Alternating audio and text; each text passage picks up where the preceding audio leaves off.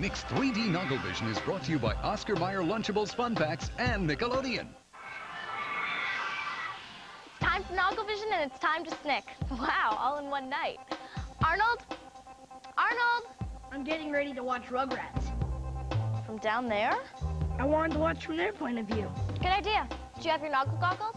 Yeah, we'll be snicking and noggling at the same time. It looks like we're ready to start. Now stay tuned for a special brand new episode of Rugrats. Look for the sign.